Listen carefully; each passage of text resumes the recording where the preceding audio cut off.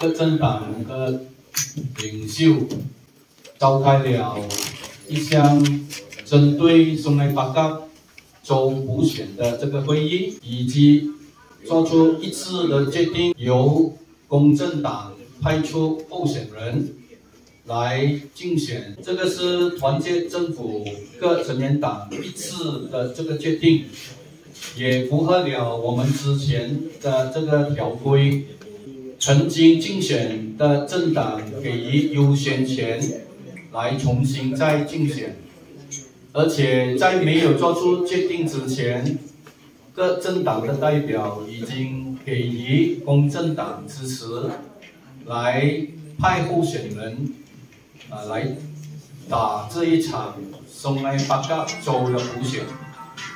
谢谢。